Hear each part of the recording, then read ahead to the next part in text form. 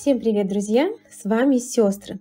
Давно нас не было на канале, и сегодня у нас очень познавательное объемное видео. Мы покажем вам, как сделать такой оригинальный декор из вафельной бумаги, как покрыть торт мастикой не классическим способом, а также предоставим вам рецепт ганаша под мастику. Очень подробно покажем все этапы сборки многоярусного торта и дадим много полезной информации. Свадебный торт у нас на 4 яруса, вес 15 кг, высота 65 см без декора и диаметр ярусов 10, 14, 18 и 22 сантиметра. Помните, для ярусных тортов ни в коем случае не экспериментируйте с начинками. Не меняйте количество крема и других ингредиентов. Обязательно нужно использовать только отработанные вами рецепты с перерасчетом на нужный вам вес и диаметр торта, чтобы избежать дальнейших неприятностей и быть полностью уверенным в своем торте. Внутри нашего торта начинка сникерс, которые мы отрабатывали множество раз и было съедено нашими семьями очень много тортиков, пока мы не пришли к идеальному результату. Начинаем мы, конечно, с выпечки бисквитов. Их мы выпекли около 10 часов назад. Обязательно помните, что торт ни в коем случае нельзя собирать с недавно выпекшимся бисквитом. Его необходимо выпечь накануне, охладить, завернуть в пищевую пленку и дать отстояться в холодильнике минимум 6 часов. Шоколадный бисквит любим готовить на кипятке.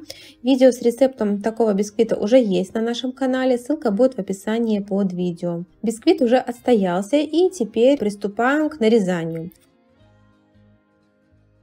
Кстати, совсем недавно приобрели вот такой нож-струну. Очень удобно и быстро можно нарезать им одинаковой толщины слои бисквита. Так что рекомендуем. Для многих начинающих кондитеров очень тяжело понять, в какое время нужно начинать выпечку бисквитов, приступать к приготовлению начинок и сборке тортов, сколько дать времени торту отстояться перед выравниванием, для того, чтобы все получилось качественно. В описании под видео укажем информацию о том, в какое время мы начинаем выпекать бисквиты, приступили к приготовлению начинок, декора, сборке торта, выравниванию и распишем все этапы приготовления по времени. Итак, нарезали бисквит и теперь будем приступать к сборке торта. У нас начинка сникерс, карамель и ганаш в начинку приготовили также накануне вечером. Ганаш стабилизировался в холодильнике в течение 8 часов и теперь его нужно взбить до пышности и побеления. На это уходит около 20 секунд. Главное не перебить, иначе масса может отслоиться. При приготовлении такого типа ганаша используем полторы части молочного шоколада и одну часть сливок. Карамель также была приготовлена накануне вечером и до сборки торта стояла в холодильнике, накрытая пленкой. В описании под видео оставим ссылку на рецепт и процесс приготовления домашней соленой карамели. Сейчас приступаем к приготовлению крема. Готовим крем-чиз на сливках. На данный торт использовалось 10 кг крема и для приготовления берем следующее количество ингредиентов. Сливки жирностью 33%, сливочно-творожный крем-чиз и сахар. Также указали вам, э, сколько потребуется ингредиентов на стандартный тортик диаметром 16 сантиметров. Отмеряем сливки в емкость миксера. Помните, что сливки должны быть холодные, иначе они не взобьются. Добавляем отмеренный сахар, холодный сыр и начинаем взбивать. Сыр мы всегда используем данного производителя. Мы к нему очень привыкли, и он нам нравится. Взбивать можно обычным венчиком, но так как у нас большое количество ингредиентов, вымешиваем лопаткой. Если делаете минимальную партию крема, можно использовать обычный ручной миксер с стандартными венчиками. На взбивание крема может уходить разное количество времени. Время будет зависеть от мощности миксера, плотности сыра, количества ингредиентов. Крем э, должен получиться вот такой плотности и однородной консистенции. Приступаем к сборке торта. Ярусные торты всегда собираем на подложках из пеноплекса или пенопласта. Считаем, что такие подложки самые безопасные для транспортировки ярусных тортов. Для данного торта мы приобрели уже готовый вырезанный в нужном диаметре пенопласт толщиной 5 см и приклеили двухсторонним скотчем сверху и снизу подложки из ламинированного ДВП.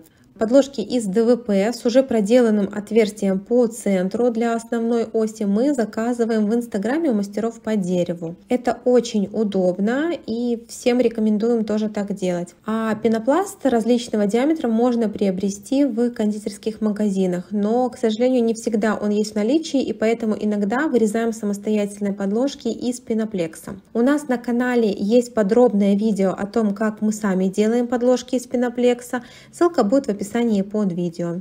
Также нам понадобится деревянная основная опорная ось, опорные палочки, которые будем вставлять для поддержки между ярусами и подложки из ДВП под каждый ярус. Ось мы отмерили нужного размера и теперь такими вкручивающими движениями вставляем в пенопласт до упора.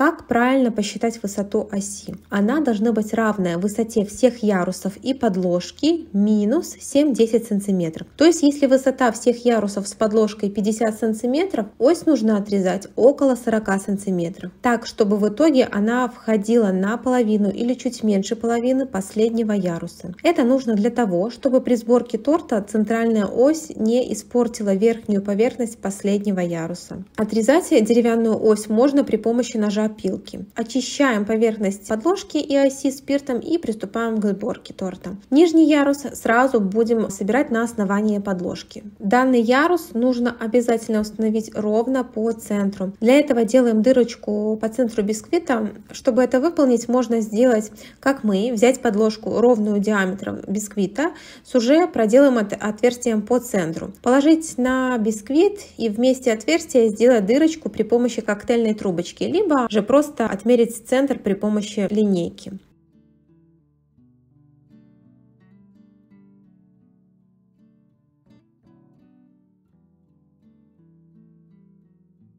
На низ подложки наносим крем для сцепления бисквита и подложки. Насаживаем бисквит в уже проделанную нами дырочку. И таким образом бисквит лежит ровно по центру подложки. Если это не сделать, будет непропорциональное размещение торта на подложке и смещение всех ярусов. В итоге торт получится неровным. Напоследок проверяем расстояние линейкой, чтобы со всех сторон от оси оно было одинаковым. Теперь можно приступать к нанесению крема и начинок. Вы, наверное, подумали, каким образом мы узнали высоту своей оси, если мы еще не собрали все ярусы. Просто мы уже множество раз делали такие торты и знаем высоту каждого яруса. Если вы не знаете, какая высота получается каждого яруса вашего торта, то можно прикинуть приблизительно и уже перед этапом надевания последнего яруса на ось обрезать ее, но в таком случае нужно будет помощь других рук, чтобы закрыть поверхность торта, в то время как вы будете отрезать лишнюю часть оси, чтобы опилки от оси не летели на ваш тортик. Либо же можно собрать каждый ярус по отдельности,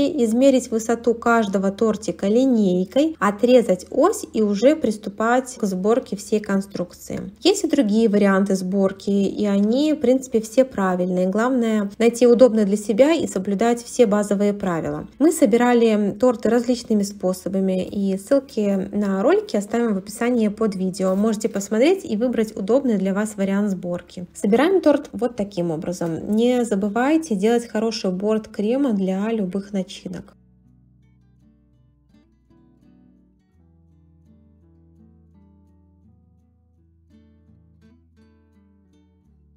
Самом конце сборки оборачиваем торт ацетатной пленкой и прихватываем ее кольцом. Нижний ярус убираем в холодильник и приступаем к следующим. Обязательно собираем каждый последующий ярус на отдельной плотной подложке. Мы используем подложки из ДВП. В данном случае у нас ламинированная подложка из ДВП. Перед сборкой обязательно не забывайте обрабатывать поверхность подложки спиртом или водкой. Толщина таких подложек около 3 мм и диаметр равен диаметру бисквита, плюс-минус 0,5 сантиметров. Итак, собрали все ярусы отдельно, убрали их в холодильник и теперь ждем, пока торты пропитаются и хорошо склеются.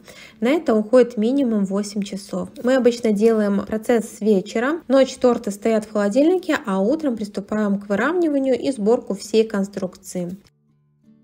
Итак, торты хорошо отстоялись и охладились. И теперь приступаем к приготовлению ганаша под мастику.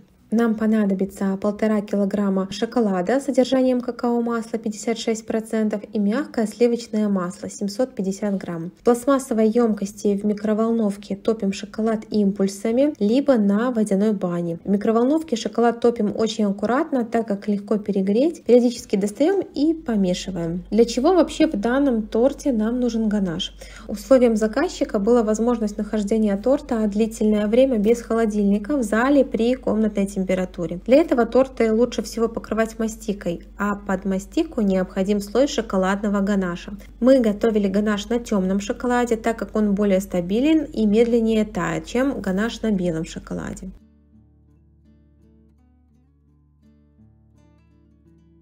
Шоколад растопился. Сливочное масло обязательно должно быть очень мягким. Можно оставлять на несколько часов в теплом помещении, либо на низкой мощности подогреть импульсами в микроволновке, как это сделали мы. Но тут также очень важно не перегреть. Температура растопленного шоколада 32 градуса, температура масла около 20 градусов. Теперь соединяем две массы. Можно вымешивать лопаткой, либо миксером на низкой скорости, но не нужно взбивать.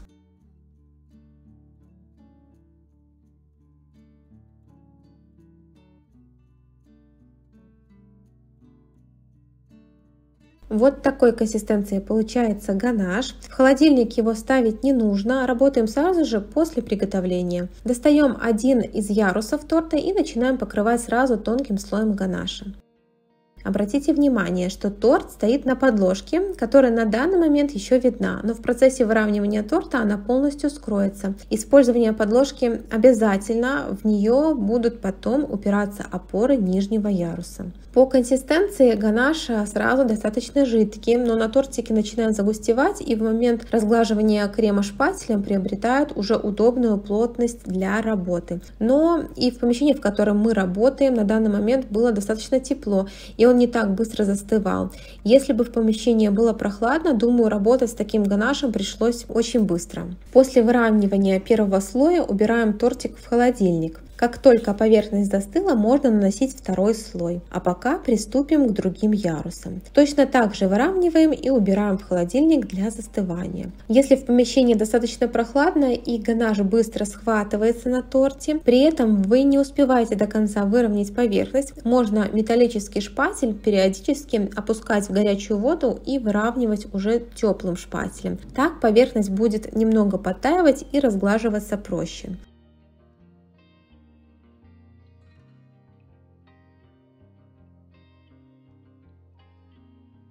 Как видите, не обязательно выравнивать мягким ганашем верхний край торта. Можно подождать, пока он застынет в холодильнике, а потом срезать ножом лишнее. Так край получается более четким и угловатым. Данный ганаш можно использовать только для покрытия торта. Для начинки он не подойдет, так как после застывания имеет очень плотную текстуру и нарезать торт с таким ганашем внутри будет тяжело.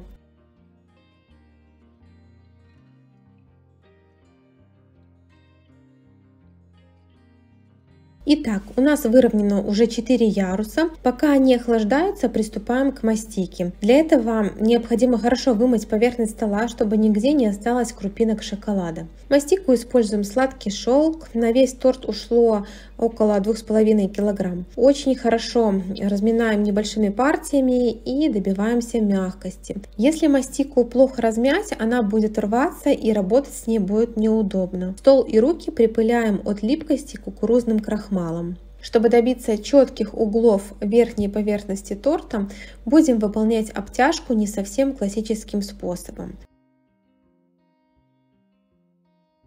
Сразу раскатываем и вырезаем круг, равный диаметру нашего яруса.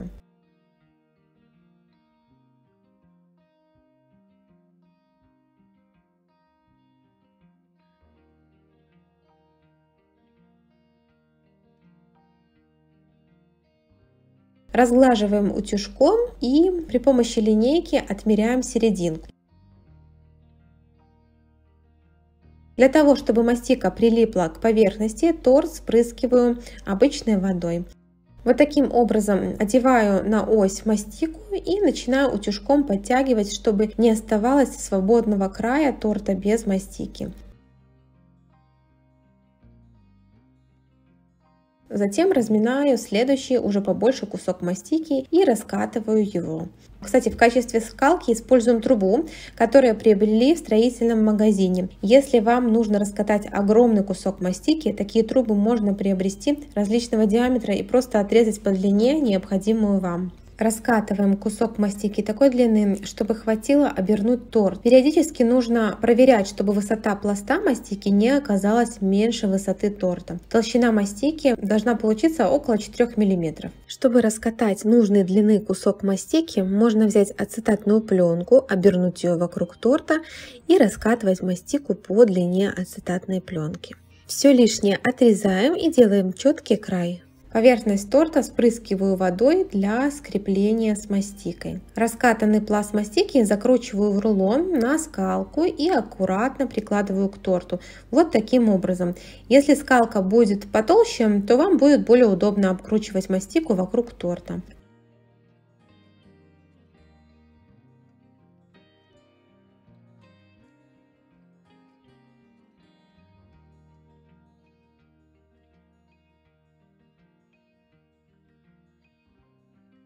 Лишнее на шве отрезаю скальпелем и хорошенько прохожу торт и сам шов утюжком, стараясь максимально разгладить все неровности. Шов при разглаживании оказался почти незаметным.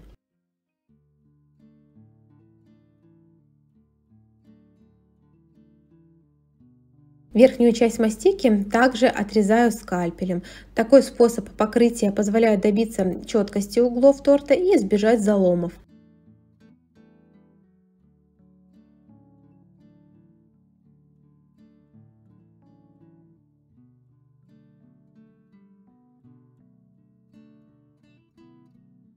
Нам не нужно было добиваться идеально ровной поверхности, так как ярус будет полностью покрыт декором, поэтому сильно не разравнивали мастику. Итак, первый ярус готов, отправляем его в холодильник и приступаем к следующему.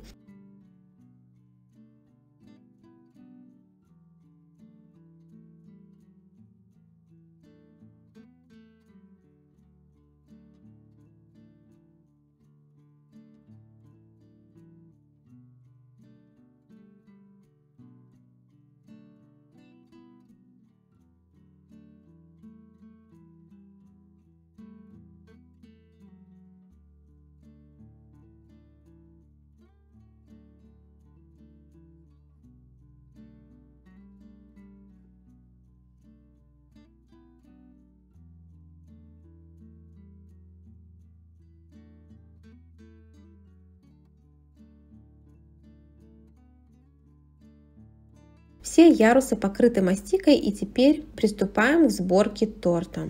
Обязательно нужны опорные палочки между ярусами. Купить их можно в кондитерских магазинах. Диаметр таких опор около 5 мм. Также можно использовать и вот такие пластмассовые трубочки, но для тяжелых тортов, особенно на нижние ярусы, все же лучше брать деревянные. Вставляем опору в торт до упора и аккуратно карандашом помечаем место окончания торта.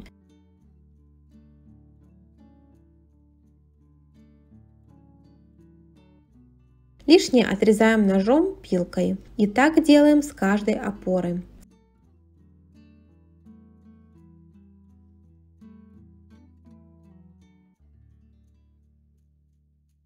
Так как торт покрыт мастикой и ее достаточно тяжело пробить тупой опорой, проделываем дырочку в мастике сразу иглой, а потом вставляем опору.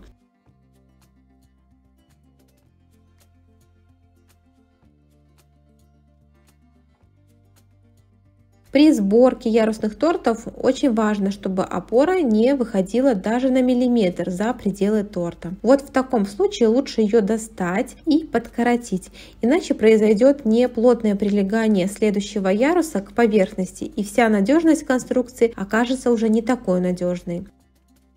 Опоры нужны для того, чтобы вся тяжесть последующего яруса не приходилась на нижний торт, а распределялась на опоры, которые упираются в подложку верхнего яруса. На нижний ярус потребовалось 5 опор. Теперь все лишнее убираю и обязательно наношу скрепление между ярус. Так как у нас мастичное покрытие, в качестве скрепления будет белый шоколад. Если бы поверхность была кремовой, то в качестве скрепления был бы крем, которым покрыт торт. Аккуратно насаживаем следующий ярус.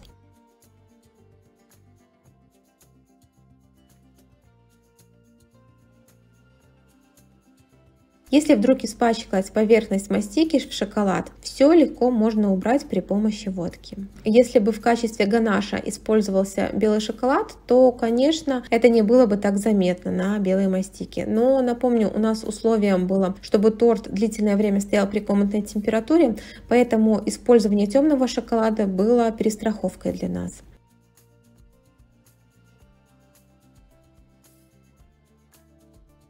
На верхний ярус потребовалось 4 опоры. Также промазываем между ярусами шоколадом и насаживаем следующий ярус. И то же самое делаем со следующим ярусом. Кремовые ярусные торты на 2, 3, 5 ярусов мы делаем по такой же технологии. Итак, весь торт собран, убираем его в холодильник для охлаждения. А пока покажем процесс приготовления декора.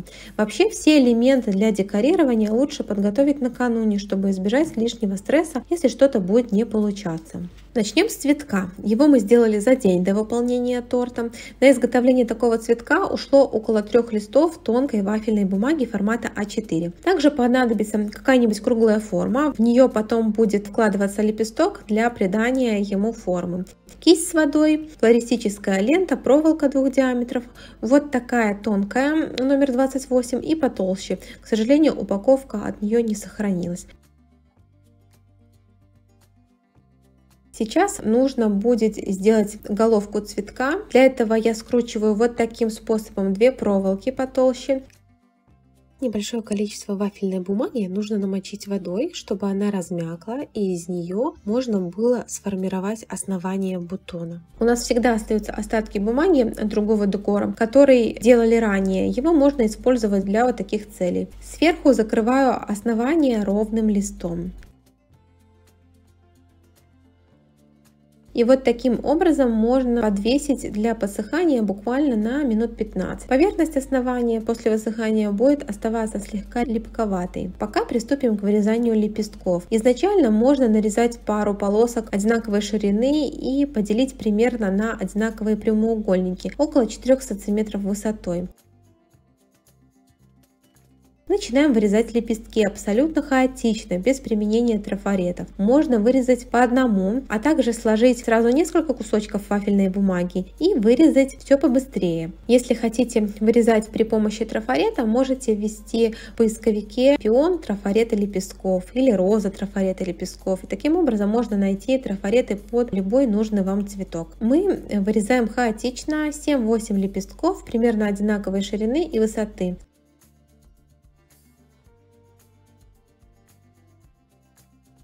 Смачиваем водой поверхность лепестка и прикладываем к основанию бутона, накладывая один лепесток на другой. Обратите внимание, что при нанесении воды вафельная бумага деформируется в одну сторону, и я прикладываю лепесток к основанию сухой стороной бумаги. Нужно, чтобы лепесток своей закрученной формой закрывал основание бутона.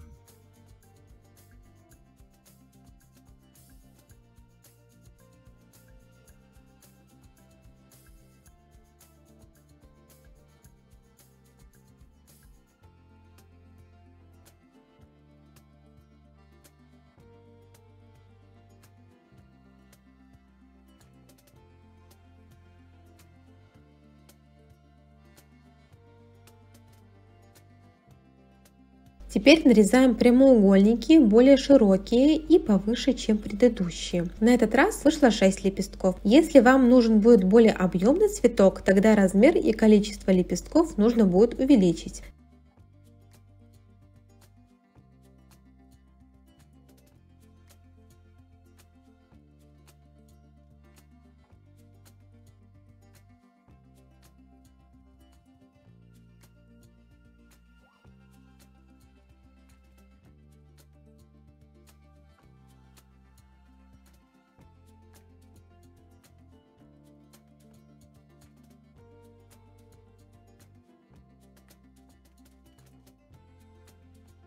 С каждым разом размер лепестков немного увеличивается.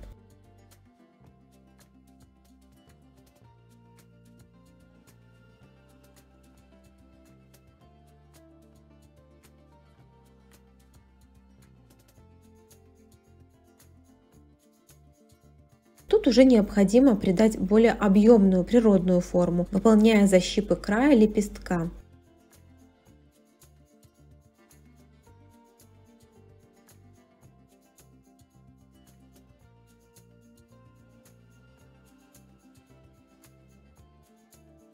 Пока лепесток еще влажный, аккуратно формируем бутон.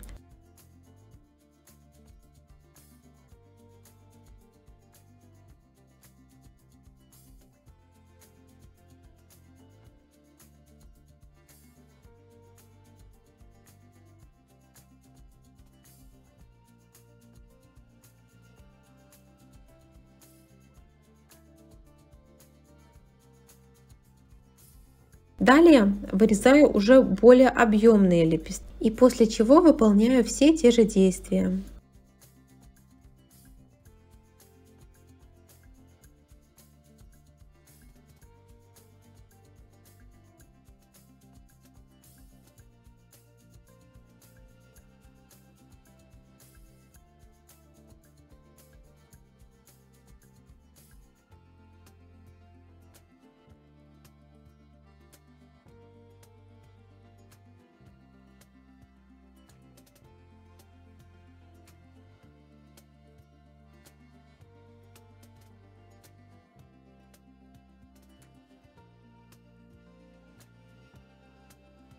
На выходе получилось что-то среднее между пионом и розом. Далее покажу, как сделать листики. Также вырезаю хаотично, но тут уже нужно сделать пары идентичных элементов, так как они будут склеиваться между собой. Наношу воду на внутреннюю сторону листа. Прикладываю тонкую проволоку и сверху нужно накрыть второй половинкой листа. Для выполнения листиков использую более тонкую проволоку, тогда они получаются аккуратными.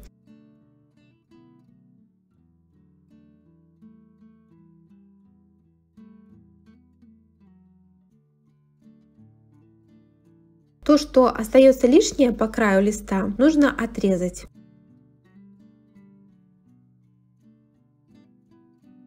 Теперь формируем готовые листики в композицию.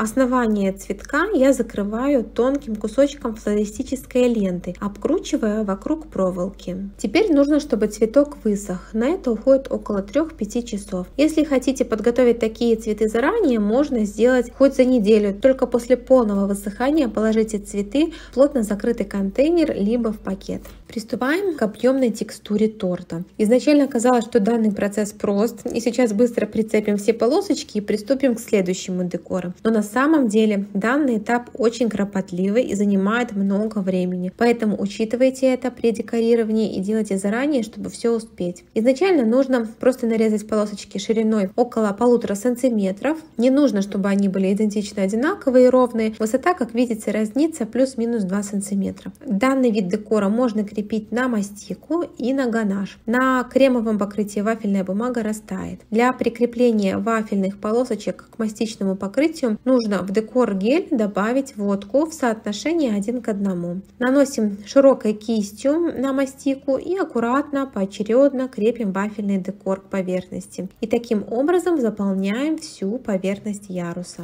Изначально полоски пробовали крепить просто на воду и на водку, но бумага недостаточно крепко держалась на поверхности, а при добавлении декор геля полосочки стали держаться значительно лучше, и такое крепление отлично пережило транспортировку и ничего не отлетело.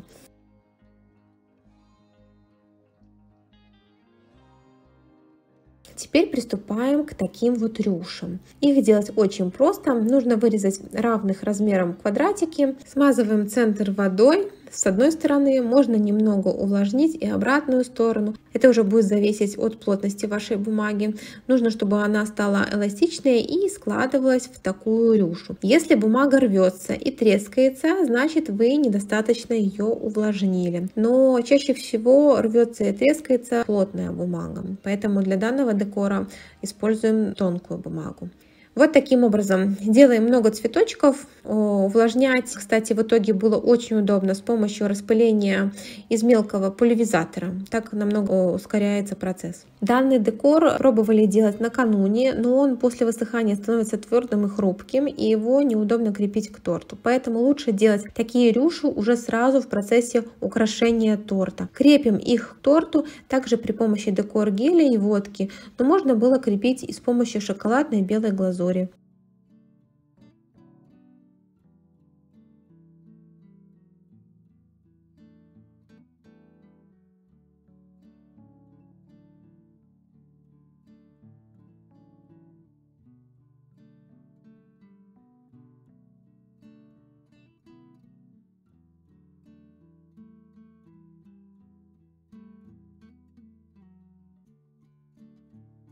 На крепление всего вафельного декора к торту было потрачено около двух с половиной часов. Вставляем вафельный цветок в подходящее место.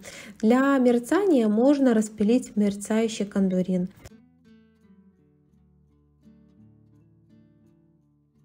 Вставляем акриловый топер с инициалами молодожен. Такие топеры заказываем у мастеров по акрилу. Торт готов. Теперь отправляем его в холодильник минимум на 3 часа перед доставкой. Перевозим торты в багажнике на ровной поверхности. Обязательно включаем кондиционер. Также для таких тортов можно приобрести коробки в кондитерских магазинах. Мы стараемся всегда брать про запас, так как такие большие коробки не всегда бывают в наличии. Напоминаем, что в описании под видео мы всегда оставляем полезную информацию для вас и все необходимые ссылки. Также у нас есть Инстаграм, где мы выкладываем выкладываем работы и публикуем новости, и в ближайшее время будут доступны для покупки отработанные наши рецепты и способ перерасчета рецептуры под нужный вес и размер свадебного торта. Так что переходите по ссылке в описании и подписывайтесь. Если данный ролик был вам полезен, не забывайте поставить лайк. А мы желаем вам успехов. С вами были сестры. До новых встреч!